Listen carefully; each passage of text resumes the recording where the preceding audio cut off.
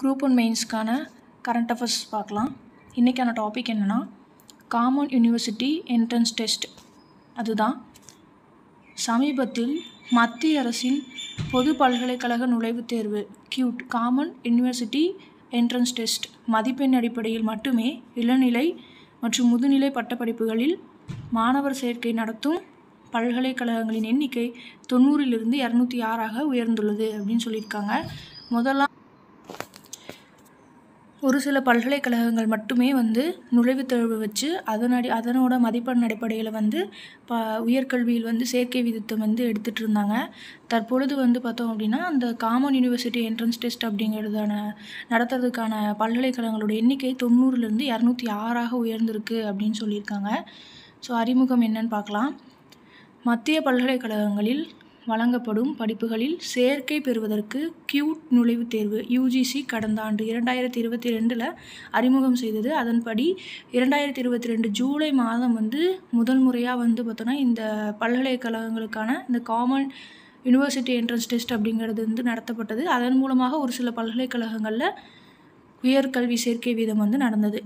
இரண்டாவது என்ன அப்படின்னா ஆரம்பத்தில் விரும்புகின்ற பல்கலைக்கழகங்கள் மட்டுமே வேணுங்கிற பல்கலைக்கழகங்கள் மட்டுமே வந்து இந்த பொது நுழைவுத் தேர்வு அப்படின்றத வந்து வச்சுட்டு இருந்தாங்க தற்பொழுது வந்து பார்த்தோம் அப்படின்னா நாற்பத்தி ஏழாயிரத்துக்கும் மேற்பட்ட கல்லூரிகள் வந்து இந்த பொது நுழைவுத் தேர்வு மூலமாக தற்பொழுது வந்து காமன் யூனிவர்சிட்டி என்ட்ரன்ஸ் டெஸ்ட் மூலமாக மாணவர்கள் வந்து உயர்கல்வியில் சேர்க்கிறதுக்காக தேர்வு வந்து கட்டாயமாக்கப்பட்டிருக்கிறது.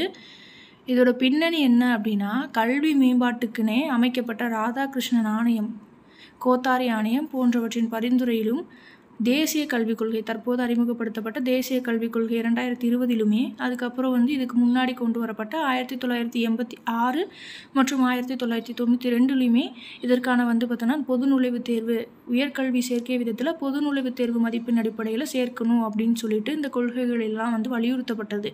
புது கல் புதிய கல்விக் கொள்கையிலுமே தற்போது உயர்கல்விக்கான மாணவர் சேர்க்கையின் மொத்த பதிவு விகிதம் இருபத்தி நாலு பர்சன்டேஜிலிருந்து இரண்டாயிரத்தி முப்பதுக்குள்ளே ஐம்பது பர்சன்டேஜாக உயர்த்தப்படணும் அப்படின்னும் சொல்லியிருக்காங்க. ஸோ இப்போ வந்து பார்த்தோம் அப்படின்னா இப்போ பேசிக்காக ஒரு டேட்டா பார்க்கலாம். உயர்கல்வி சேர்க்கை விதத்தில் முன்னிலையில் தமிழ்நாடு இருக்குது ஓகேங்களா? ஸோ வந்து ஐம்பத்தி ரெண்டு பர்சன்டேஜ் அப்படிங்கிறது அளவுக்கு அடைந்த முன்னணி மாநிலமாக தமிழ்நாடு விளங்குகிறது. இதற்கு வந்து என்ன காரணம் அப்படின்னு பார்த்தோம் அப்படின்னா நம்ம வந்து பெண் கல்வி உயர்க பெண் பெண்களோட உயர்கல்வி விதத்தை அதிக அதிகப்படுத்தணும் அப்படிங்கிறதுக்காக இப்போது தற்பொழுது மூவலூர் ராமாமிர்தம் உயர்கல்வி உதவி திட்டம் அப்படின்றது அதாவது புதுமை பெண் திட்டம் வந்து கொண்டு வந்திருக்காங்க இல்லையா? மாணவர்களுக்கு அரசு பள்ளியில் வந்து பார்த்தோம்னா ஆறாவது முதல் பன்னிரெண்டாவது வகுப்பு வரை படித்த மாணவர்களுக்கு உயர்கல்வியில் சேர் சேரும் வீதத்தை அதிகப்படுத்தும் நோக்கில் ஆயிரம் ரூபா அப்படின்றது மாதம் மாதம் வழங்குறதுக்காக சொல்லியிருக்காங்க.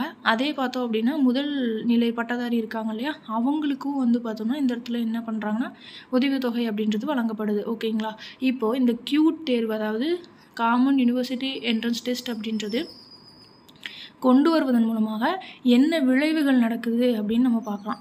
ஓகேங்களா? முதல் என்ன நன்மைகள் இருக்குது அப்படின்னா ஜென்ரலாக அதுதான்.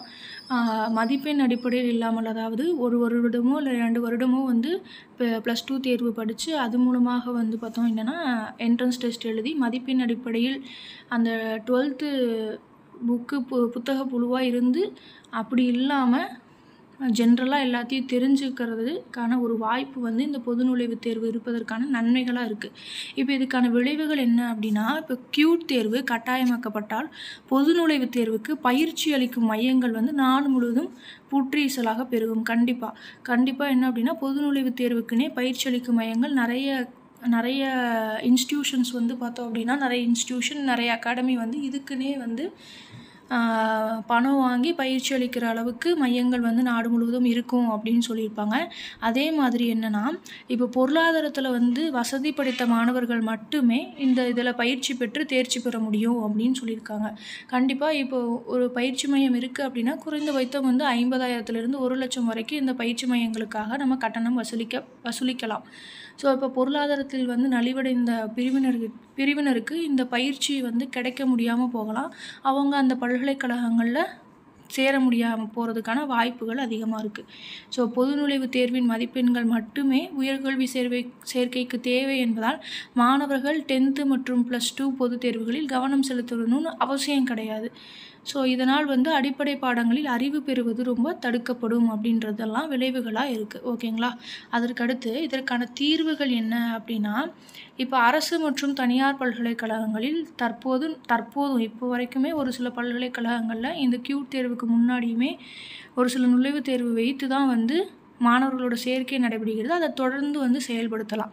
அதே மாதிரி இன்னொன்று என்ன அப்படின்னா பல்கலைக்கழகங்கள் அதாவது இந்த கியூட் தேர்வை வந்து எப்படி நடத்தணும் அப்படிங்கிறதுக்கான வழிகாட்டுதல்கள் வந்து முறையாக வந்து பல்கலைக்கழக மானியக்குழு யூனிவர்சிட்டி கிராண்ட்ஸ் கமிஷன் அவங்க யூஜிசி வந்து எப்படி வந்து நம்ம இந்த தேர்வை அணுகணும் எப்படி வந்து சிலபஸ் இருக்குது அந்த மாதிரி எல்லாத்துக்கான ஒரு வழிகாட்டுதல்கள் வந்து அவங்க வந்து தெரிவிக்கலாம் அப்படின்னு சொல்லியிருக்காங்க. அதே மாதிரி தேர்வுகள் நடத்தும் முறைகளை ஆய்வு செய்கிறது ஓகேங்களா? அதற்கடுத்து இப்படியான கண்காணிப்பு மூலமாக சரியான முறையில் தேர்வுகள் நடத்தி தகுதியுள்ள மாணவர்களுக்கு இந்த உயர்கல்வியில் சேர்க்கை வழிவகுக்கலாம் அப்படின்னு சொல்லியிருக்காங்க. இப்போது எடுத்துக்காட்டாக இப்போ தொண்ணூறு பல்கலைக்கழகங்கள்லேருந்து அதில் வந்து இரநூத்தி ஆறு பல்கலைக்கழகங்களாக வந்து இந்த கியூ தேர்வு பொது நுழைவுத் தேர்வு நடத்துகிறதா வந்து உயர்ந்திருக்கு பல்கலைக்கழகங்களோட எண்ணிக்கை.